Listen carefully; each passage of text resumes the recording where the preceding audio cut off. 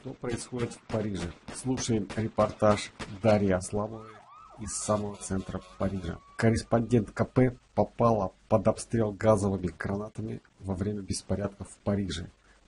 Корреспондент комсомольской правды Дарья Асламова передает из Парижа, который бунтует против роста цен на бензин и требует вернуть налоги на состояние богатых французов.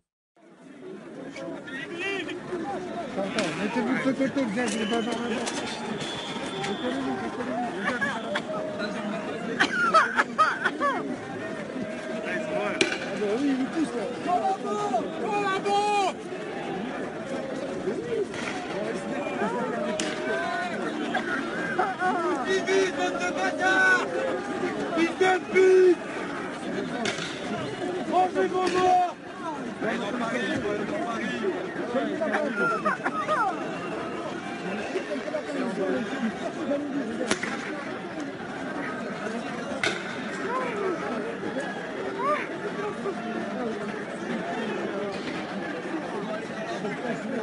regarde.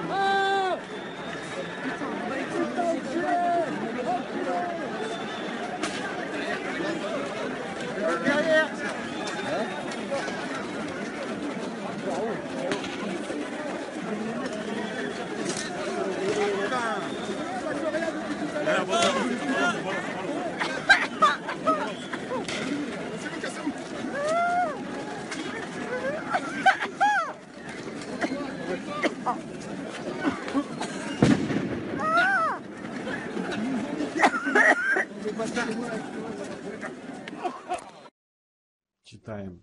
Прямо в нас летит коктейль Молотова. Я и милая леди на велосипеде, которая пытается объяснить мне дорогу, с визгом бросаемся к ближайшему подъезду и умоляем старушку-консьержку пустить нас в подъезд. Пускают даже велосипед. На улице вспыхивает автомобиль. И сквозь щелочку мы наблюдаем за пламенем. Трудно представить, что все происходит в 300 метрах от Елисейских полей в самом сердце Парижа. Если вы побежите очень быстро, за углом ваш отель, говорит велосипедистка.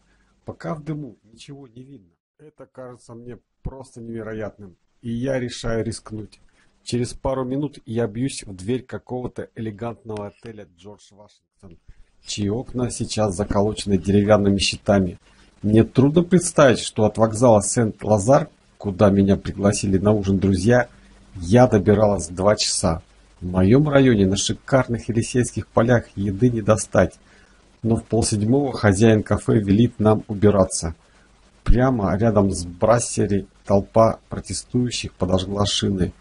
Пара китайских туристов вцепляются в моих товарищей и просит их проводить до отеля. Они перепуганы до смерти.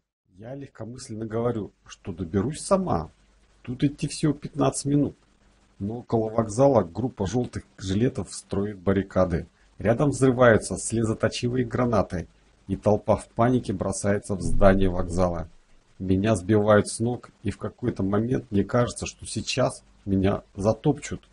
Каким-то чудом я сползаю по ступенькам и падаю на дорогу прямо в лужу, совершенно мокрая, в порванных колготках. Это вторые колготки за день. Я натягиваю на голову свитер и бегу с колотящимся сердцем, стараясь не дышать, пока клубы дыма не остаются позади. Теперь я окончательно потерялась. Полицейские постоянно заворачивают меня. Мадам, туда нельзя и сюда нельзя. Там идут уличные бои. Идите вокруг. Куда вокруг? Прямо на моих глазах пацаны громят банкоматы. Я крепко прижимаю к себе сумку и ускоряю шаг. Метро не работает. Такси не найти. Я иду мимо разгромленных витрин, мимо какого-то роскошного ресторана, заколоченных модных кафе. Меня охватывает паника. Наконец я встречаю ребят в желтых жилетах, которые пытаются найти мой отель по навигатору. И вдруг, как кошмар, на нас надвигается толпа полицейских с палками в руках. Один из парней вталкивает меня в нишу между домами. Его жестоко избивает палкой полицейский. Вижу кровь на его лице, и мне становится дурно. Покорно я поднимаю руки вверх, в одной держу карту Парижа. «Я туристка!» – в ужасе кричу я. Полицейский прикладывает палец к губам. «Тихо! Где ваш отель?» «Я не знаю, только адрес». Можете рискнуть подняться по выше по улице, но держитесь ближе к домам. Если увидите столкновение, убегайте. Чудесный совет. Когда я оказываюсь наконец в отеле, то вижу, что у меня дрожат руки, лицо все в пятнах от аллергии, от слезоточивого газа, когда я снимала утром столкновение полицейских и желтых жилетов около Триумфальной арки, я замешкалась и попала прямо под обстрел. У меня текло изо рта, носа, глаз. Я совершенно ослепла. Я видела только камни мостовой и даже не поняла, что падаю. Меня схватил за капюшон какой-то мужчина и потащил в соседний переулок. Полиция не захотела меня пускать. «Пресса!» – закричала я. Надо мной сжалились и отвели в единственное открытое кафе, куда полицейские бегали в туалет.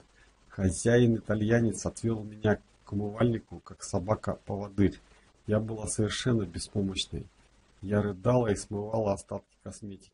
35 лет жил в Париже, но никогда такого не видела, тихо говорил он, слушая, как я всхлипываю. Моя жена, она живет в соседнем доме, боится выйти на улицу. Очень ее понимаю, отвечаю я, видя в зеркале свое лицо панды. Мы слышим на улице взрывы. Вам надо выпить чего-нибудь, чтобы успокоиться. А у вас есть вино? В Париже. Это кажется чудом. И следующие полчаса я слушаю скучную историю жизни итальянского иммигранта только потому, что у него единственного в районе нашлась бутылочка вина. Неужели я в Париже?